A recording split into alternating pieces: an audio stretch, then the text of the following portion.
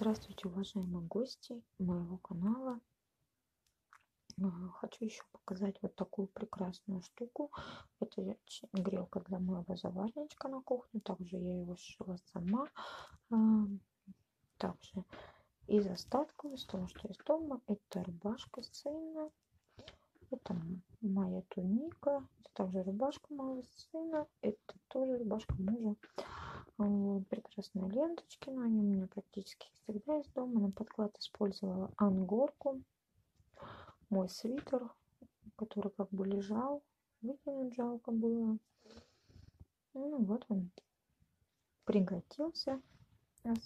Одна часть как бы пошла в дело. Это вот такая грелочка.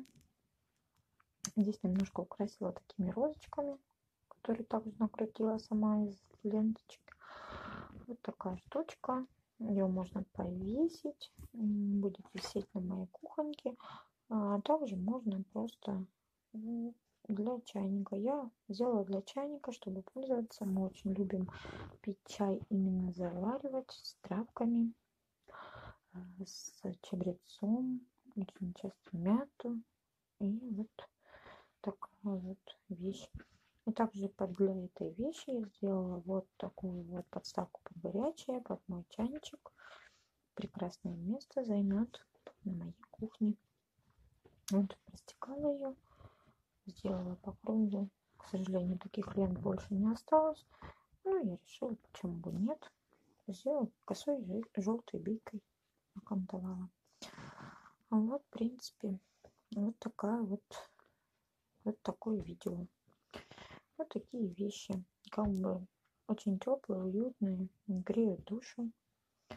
Мне очень нравится. Также и подставочку можно подвесить на кухне. Также можно просто поставить, поставить на нее заварничек, заварить ароматный чай.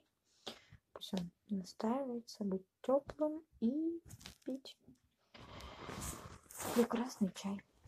Я вам очень благодарна ставьте лайки, подписывайтесь на мой канал. Это только начальное видео, несколько из моих вещей. А, в дальнейшем будем делать с вами интересные вещи из того, что есть у нас дома.